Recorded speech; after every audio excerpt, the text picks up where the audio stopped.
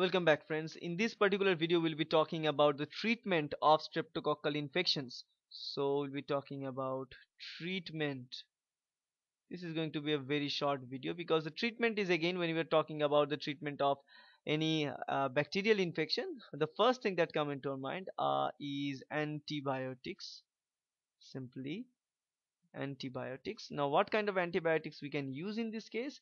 Uh, usually the streptococcus species like streptococcus pyogenes and all these things they are not uh, still uh, resistant uh, to uh, penicillin. So we can use penicillin G. We can use penicillin G as an antibiotic.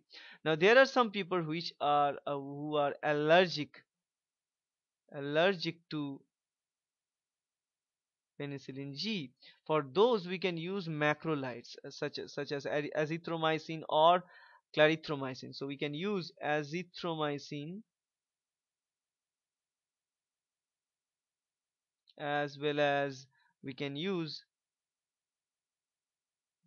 clarithromycin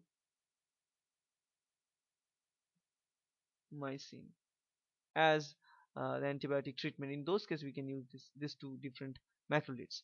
Nowadays, uh, doctors prefer this uh, use of penicillin G uh, along with clindamycin because it is going to show us some kind of synergistic effect. So usually nowadays they are using this penicillin G uh, and they are tagging it with clindamycin.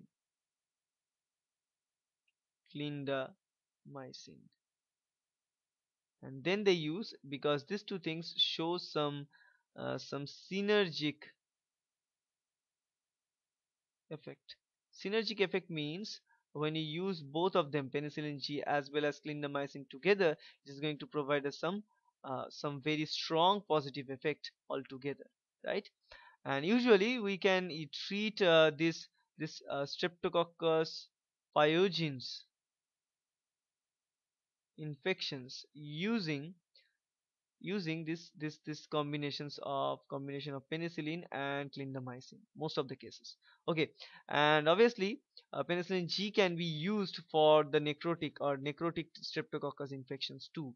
Okay so this is but before treating or before prescribing any kind of antibiotics for treating of the streptococcal infection we must check for the proper identification of the bacteria from uh, the wound site right and then do the rest of the things. And the technique we can use is rapid latex antigen kit remember? And in this case uh, after knowing all these things uh, prevention is also most important part because prevention is always better than treatment and cure. So prevention or preventive measure must be taken. Preventive preventive measure must be taken so hand washing and obviously uh, during uh, before the eating of food and all these things you should uh, be hygienic about your life. Otherwise this kind of infections like streptococcal and staphylococcus infections are mostly they're mostly uh, transferred by food. So you be careful about food.